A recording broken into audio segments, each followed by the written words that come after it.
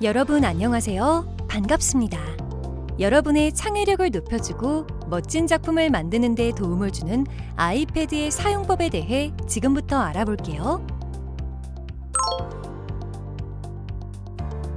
먼저 아이패드의 디자인을 살펴볼게요. 아이패드의 아래쪽을 보면 동그란 홈 버튼이 있어요. 처음 시작할 때나 앱을 사용한 후 홈화면으로 이동하고 싶을 때 이 홈 버튼을 눌러주세요. 아이패드 옆면에는 소리의 크기를 조절하는 음량 버튼이, 윗면에는 전원 버튼이 있어요. 전원을 켤 때는 전원 버튼을 3초간 눌러줍니다.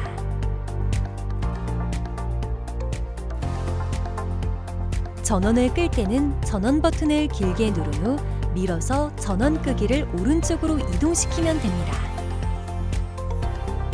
이제 와이파이를 연결해 볼까요? 화면의 오른쪽 상단 모서리를 쓸어내려 제어 센터를 엽니다. 3단 부채꼴 모양의 와이파이 아이콘을 터치해 와이파이를 끄거나 켤 수 있습니다. 아이콘을 1초 동안 꾹 누르면 연결 메뉴가 확대되고 한 번 더 1초 동안 누르면 연결 가능한 와이파이 목록이 나옵니다. 학교 와이파이를 선택해 아이디와 비밀번호를 입력하면 됩니다. 와이파이가 혹시 끊기면 와이파이 연결을 다시 확인해 보세요. 태양 아이콘 막대를 위아래로 이동시켜 밝기를 조절하고 스피커 아이콘 막대로 소리를 조절합니다. 화면을 회전시킬 수도 있는데요. 아이패드를 돌려 가로 모드, 세로 모드로 변경할 수 있으며 제어 센터를 열어 열쇠 아이콘을 클릭해 화면 방향을 고정할 수 있습니다. 이제 인터넷을 열어볼게요. 패드 하단에 앱이 모여있는 곳을 Dock bar라고 합니다. 이곳에서 나침반 모양의 사파리 앱을 터치한 후 구글이나 네이버 등 포털 사이트로 들어가면 됩니다. 검색을 위해 검색창을 터치하면 화면 키보드가 자동으로 나오는데요. 키보드를 내리고 싶으면 키보드 아이콘을 누르면 됩니다. 지구본 아이콘에서 영어, 한글 선택이 가능하고 숫자와 특수 문자를 입력해야 할 때는 숫자 아이콘을 누르세요. 언어가 한글일 때 화살표 모양을 누르면 쌍자음 등이 나오고 영어일 때는 대소문자 변경이 가능하며 숫자 특수 문자에서는 더 다양한 입력을 할 수 있습니다.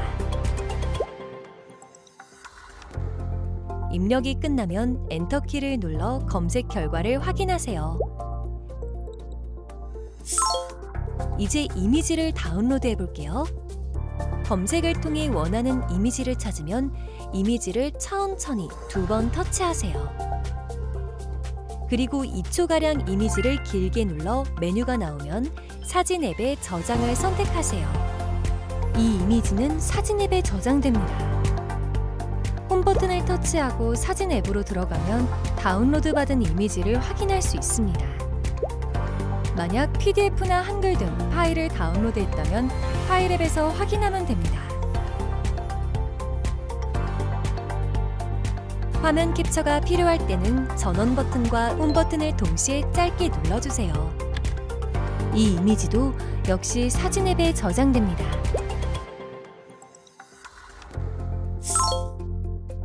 이제 펜을 살펴볼게요.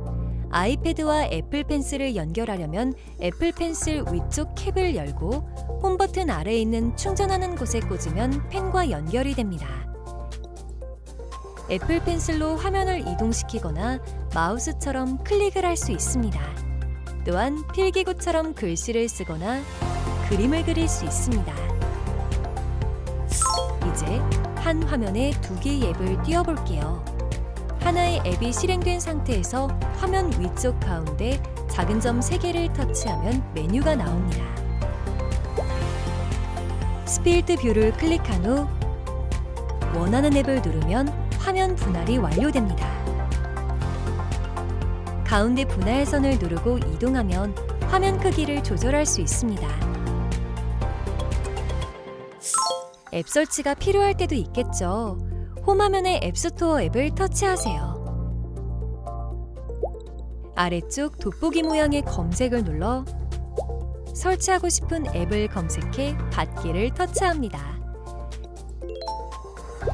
앱 다운로드가 완료되면 열기를 눌러 앱을 실행하세요. 카메라 앱으로 촬영도 할 수 있지만 QR코드 접속도 할 수 있습니다. 카메라 앱을 켜 QR코드를 향해 줍니다. 그러면 자동으로 QR코드와 연결된 인터넷 주소가 뜰 거예요.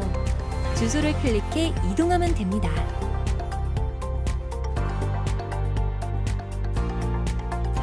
이제 수업을 마친 후 정리하는 방법을 알아볼게요. 다음 수업을 위해 여러 탭을 정리해야겠죠. 탭을 하나씩 터치해 X표가 뜨면 X표를 클릭해 꺼줍니다. 다른 방법도 있습니다. 아이패드 오른쪽 위에 두 개의 겹쳐진 네모 버튼을 눌러주세요. 수업 중에 사용한 여러 탭들이 보입니다. X표를 터치해 탭을 끌 수 있습니다. 마지막으로 앱 상단의 점 3개를 누른 후 제일 아래에 닫기 버튼을 눌러 탭 전체를 정리할 수 있습니다. 앱을 사용하다 오류가 생기면 앱을 껐다 다시 켜면 좋습니다. 사용한 앱을 종료할 때는 홈 버튼을 두 번 누른 후 종료하고 싶은 앱을 쓸어 올리면 됩니다.